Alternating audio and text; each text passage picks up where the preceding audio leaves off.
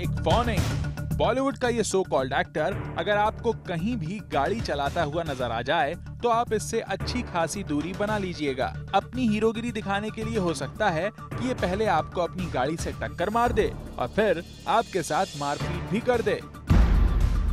इन actor साहब का नाम अगर आपको याद नहीं आ रहा तो सुन लीजिए कि इनका नाम है अर्जन बाजवा। और इन दिनों इनका फ़िल्मों में काम पाने के स्ट्रगल में फ्रस्ट्रेशन का आलम यह है कि सड़कों पर चलते हुए ये किसी के भी साथ मारपीट तक कर सकते हैं।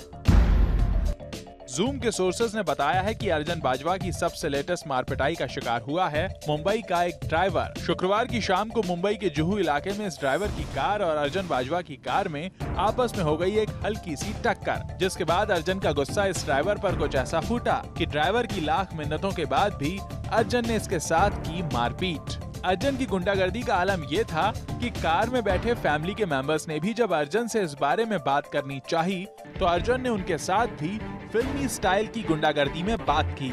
अर्जन का गुस्सा इतनी सी बात को लेकर सातवें आसमान पर ऐसा चढ़ा कि वो कुछ भी सुनने को तैयार नहीं थे।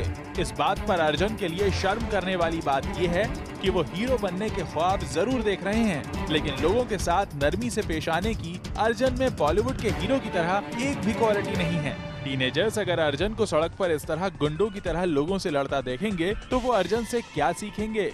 जूम ने जब अर्जन से इस घटना की सच्चाई पता करने के लिए फ़ोन किया तो खुद को फंसता देख वो पूरी घटना से ही मुकर गए। आपने किसी एक ड्राइवर को थप्पड़ मार दिया। तो I just want to know कि ये खबर कितनी सही है और अगर ऐसा हुआ है तो क्यों हुआ? ये किसने खबर दी आपको? ये किसने खबर दी आपको? आ, हमारे पास एक खबर मतलब आ, ऐसे मेरे पास ऐसी न्यूज़ आई है। नहीं ऐसा तो कुछ भी नहीं हुआ। ऐसे कुछ भी नहीं हुआ? नहीं।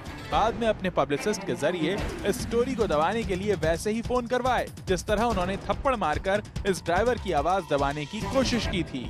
अर्जन शायद ये भूल गए हैं कि झूठ बोलकर वो चोरी और सीनाजोरी की इस हरकत पर पर्दा डाल सकते हैं, लेकिन जूम के सोर्सेज की आँखों पर नहीं।